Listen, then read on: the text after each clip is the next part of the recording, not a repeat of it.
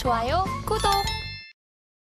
그 다음으로는 우리 반도체 넘어가는데 아까 우리 김인수 대표께서 윤석열 대통령이 또 기공식에 참석한다. 이게 왜냐하면 굉장히 역사적인 순간입니다. 우리가 그렇죠. 수도권 개발을 제한을 계속 하고 있는 상황에서도 반도체만큼은 용인해야 되겠다는 것이 뭐 물류라든지 두- 주변에 이제 접근 환경이라든지 이게 예. 중요한 것이거든요. 네. 반도체만큼은 생사가 걸려 있는 거죠 국가에. 그렇죠. 자 그런데 우리가 뭐 삼전 얼마가 하냐, SK 하이닉스 어떻게 되느냐, NAND flash 식상한 이야기인 거예요. 이제는 이제는 반도체는 어, TSMC처럼 비메모리로 갈 수밖에 없고 또 파운드리 쪽으로 갈 수밖에 없고 fabless까지 갈 수밖에 없는 대세가 됐다고 봐야 되겠죠. 그렇죠. 왜 예, 근데 이번에 삼성이 예. 또 300조 투자해서 용인에 아, 가는지 아십니까? 이름이 좋지 않아요? 용인, 용인해 준다. 이야, 날카로우시네요. 어, 아. 용이 되려고. 그렇죠. 국가가 용인해 준 거죠. 이, 아. 이재 용이잖아요. 용인. 또 드리... 예, 하여튼간 예, 예, 예. 참 소장님하고 방송하시면 참 노력 많이 하신다. 예. 네, 아유, 대단하십니다. 그래서 네. 중요한 거는 큰 그림이 이제 대충 그려지기 시작하는 거죠. 예. 어. 그러면은 한때 우리 미국에 가야 된다. 예. 네, 미국에 가서 미국이 칩 반도체 제조법 이런 거 막 제정하고 그러면서. 예. 돈을 지원해 줄 테니까 우리 미국에 와라. 예. 라고 얘기해서 갈 준비를 다 하고 TSMC도 음. 벌써 짐 싸서 가서 이제 딱 터 닦고 있는데 애리조나에. 네. 그렇죠. 거기다가 뭘 확 뿌려버리는 거죠. 아. 아. 돈이 공짜가 어디 있느냐? 예, 하게 되면 자 우리가 좀 어, 간섭 좀 할게. 그러면서 예. 기술도 좀 봐야 되고 음. 재무제표도 볼 거고. 예, 초과 이익도. 그렇죠. 그, 그 이렇게 쭉 나오다 보니까 아니 돈을 지원해 주는 건 좋은데 이거 예. 내정 간섭이야? 이런 아. 쪽으로 나오기 시작해요. 아. 거기다가 중국에는 또 이거 이거 뭐또 해서 뭐 가면 돈 못하게. 받게 되면은 또 이제 capa가 뭐 옛날 거는 legacy 공정 같은 경우는 뭐 예. 10% 정도까지 용인해 줄게. 근데 그 첨단 공정 5% 10%네. 예, 첨단 공정은 5% 이상 가면 안 돼. 이러고 있다 보니까 업체들 쪽에서는 아 이거 가는 게 독 아냐 이런 그렇죠. 생각이 드는 거죠. 그런 반응이 나와요, 실제로도. 그러다 보니까 예. 미국 가서 이제 뭐 오스틴 공장 하는 거는 일단은 가고 예. 나머지 더 키울 거는 한국으로 할게. 아. 그러다 보니까 300조를 한국에 그냥 하는 거죠. 그러니까 아. 차라리. 그렇죠. 북미로 가서 그쪽으로 뭔가를 가서 좀 드라이브를 걸까 하다가 음. no no no 안 되겠다. 그냥 우리한테 딱 만드는 게 좋겠다. 그러다 보니까 음. 지금은 평택 쪽에 음. P5까지 나가면서 이렇게 쫙 짓고 있는데 네. 똑같은 규모를 용인해 짓습니다. 아. 결국 이제 반도체가 국내에 머무른다는 이야기예요. 네. 그렇죠. 그런데 아까도 제가 질문을 드렸지만 지금 정말 이제 운명이 걸린 생사가 달려있는 이 반도체 경쟁에서 네. 결국 대만도 그렇고 미국도 그렇고 일본도 그렇고 일본도 지금 큐슈에 TSMC 합작 공장이 지어집니다. 네.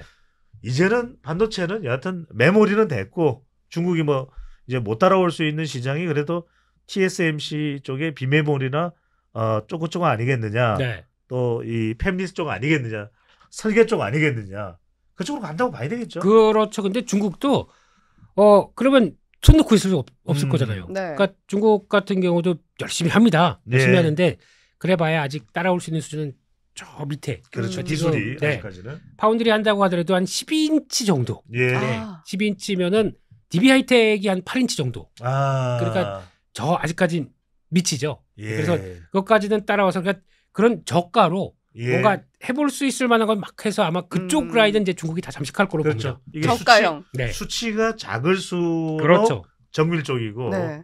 지금 2나노, 3나노 얘기 나오니까. 예. 그렇습니다. 그래서 어, 지금 기조를 보게 되면 중국이 커가는 걸 이제 계속 압박을 넣는 거죠. 예. 미국이 음. 그러다 보니까 그에 따른 2차 전지도 마찬가지겠지만, 그렇죠. 예, 반도체도 어떻게 보면 그쪽에서 더 국내 업체들이 숨통을 트이는 건데 음. 그렇다고 하더라도 메모리 쪽은 어쩔 수 없습니다. 아직까지는 예. 중국이 뭐 그쪽 매출 비중이 거의 40% 나오고 있는 그렇죠. 상황이니까. 가성비가 네. 따라갈 수가 없는 거죠. 네, 그래서 네. 이거는 메모리는 그렇다고 하더라도 음. 이제 파운드리 쪽을 키우겠다라고 하는 입장이 나오다 보니까 시장에서는 메모리는 사이클, 비메모리 쪽은 어떻게 TSMC 잡나 어. 이게 지금 관건인 거죠. 그렇죠. 네, 자, 이현 아나운서는 프로그램 진행할 때도 그렇고 네.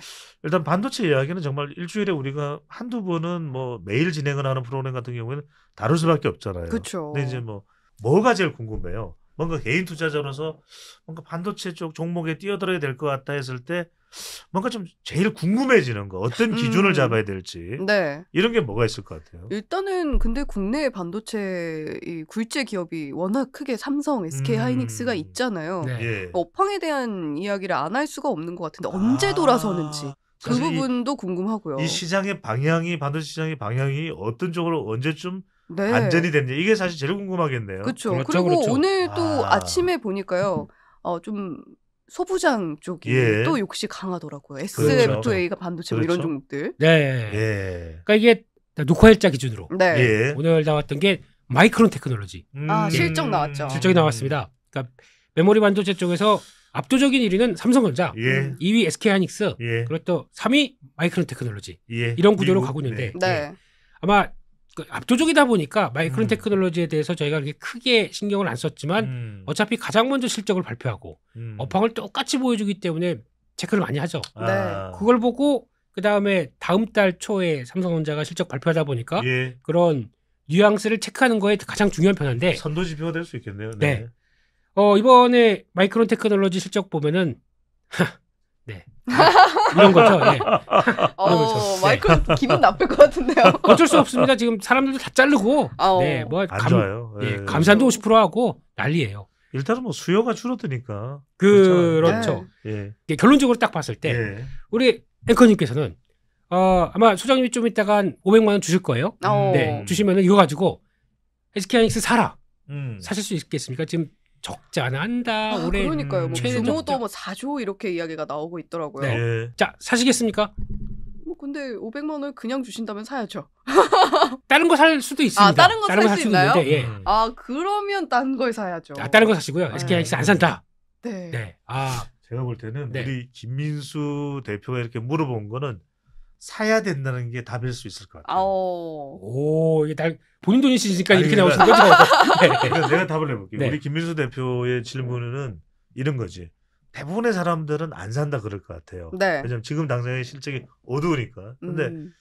우리 김민수 대표가 종목 킹이 되는 이유는 6개월 뒤, 1년 뒤를 생각하는 거예요. 아, 그러니까 그 사이트에 사서 그죠. 비싸게 파는. 지금 사진을 보고 내일의 날씨를 예측하기는 어려워요. 아. 근데 이야. 내일의 날씨로 추정될 수 있는 시뮬레이션을 보고는 아 이럴 것 같네 예측이 가능해지죠. 그러니까 항상 머릿 속에는 6개월 뒤에 1년 뒤에 어. 증시가 있는.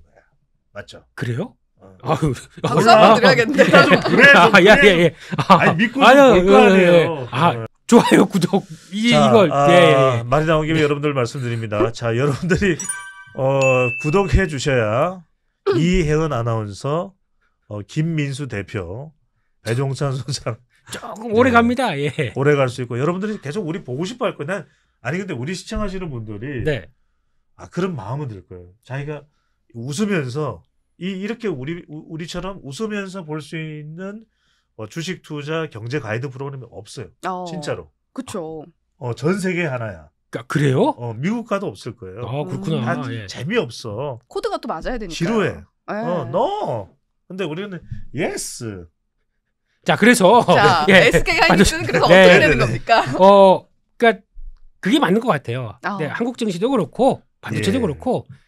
그럼 예전에 반대로 볼게요. 한 2020년대 초에 삼성전자 9만 원 갔다가 네. 음, 막 슬금슬금 내려오고 있는데 음. 그때부터는 한 6개월 동안 사상 최대 실적이래요. 어. 아. 최대 실적 뭐 이렇게 돈 많이 버는데 몇십 조씩 돈 버는데 그렇죠. 주가는 줄줄줄 빠집니다. 내려갔죠.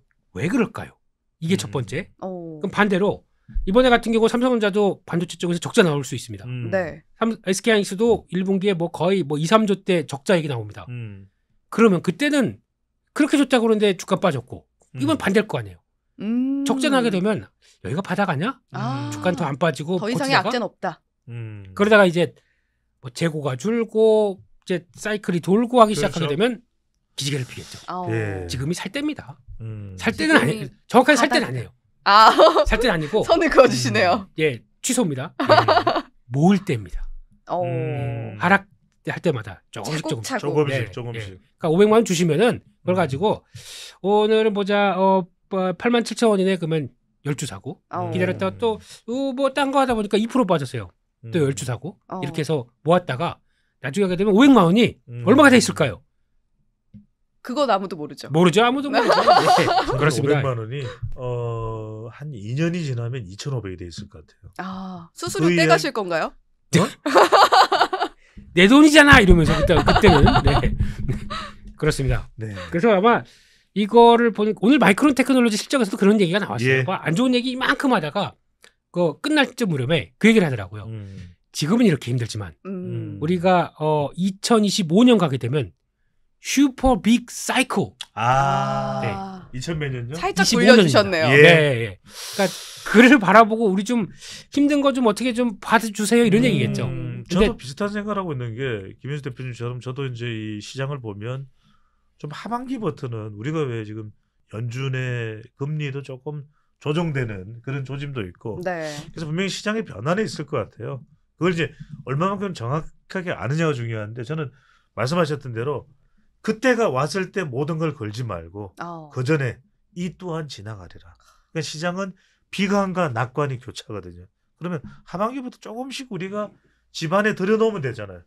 집 어. 바깥으로 내뒀던 것들을 네. 그 곡간을 조금씩 채우면 정말 대박이 터졌을 때는 곡간이 굉장히 질서정연하고 합리적으로 정말 효율성 높게 딱 채워져 있겠죠. 음. 어, 결정적인 것은 이, 이제 그러면은 반도체도 아까 우리 이현행 그 굉장히 중요한 말씀하셨는데 네. 소부장 쪽으로 가고 있다. 네. 그러면 아무래도 우리가 좀 몸집도 가벼운 쪽을 선택할 수 있는 요즘 정치 분위기잖아요. 그렇죠. 네. 그래서 뭐, 자, 그냥 나는 작은 종목들 이런 거 잘 모르겠고, 음. 네. 그러면은 그냥 일단은 SK 하이닉스나 어. 삼성전자는 좀 또 여러 가지 있다고 하게 되면 또 메모리 사이클과 똑같이 움직인 거는 SK 하이닉스죠. 네. 그러니까 이런 거를 보시고 대응하시는 게 좋을 것 같고, 네. 그보다도 또 초과 수익률을 노리겠다라고 아, 하게 되면 제가 보통 얘기하는 게 반도체에서 메모리 음. 쪽에서 전공정, 후공정이 있습니다. 네. 음. 네. 전공정 같은 경우는 웨이퍼 직접 제작과 관련된 쪽이죠. 그렇죠. 후공정은 다 포장. 만든 거 가지고 패키지, 포장, 음. 테스트 이런 거 하는 쪽이죠. 음. 근데 이쪽도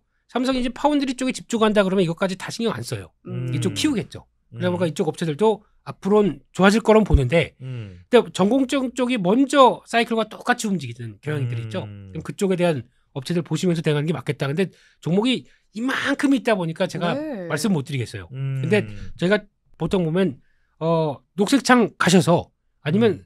서경 센티비 보시면 다 나옵니다. 아, 그쵸, 나오죠. 그쵸. 네. 반도체만 검색하셔도 유튜브 쫙 나오고 쫙 나옵니다. 단 네. 센티비에서 음. 네, 센거 가야 됩니다. 거기서 전공정 장비 쪽 제 대부분 다 많이 들어봤어요. 예. 뭐 원익 계열도 들어보고 음. 뭐 PSK ITS, 뭐 네. 이 테스 뭐 이런 거 다 있는데 네.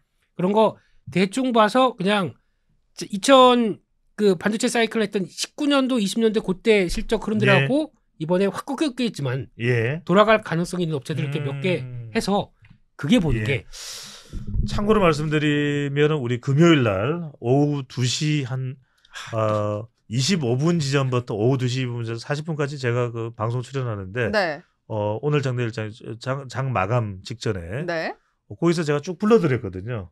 어, 다시- 오. 다시 보기를 보시면 한 30여 개, 25개 정도 30여 개 기업을 불러드렸기 때문에 아, 반도체 이 장비사요. 뭐 햄리스하고 제가 파운드리 쪽으로 야. 불러드리기 오픈북이네 때문에. 오픈북. 네. 네. 좋아요, 구독.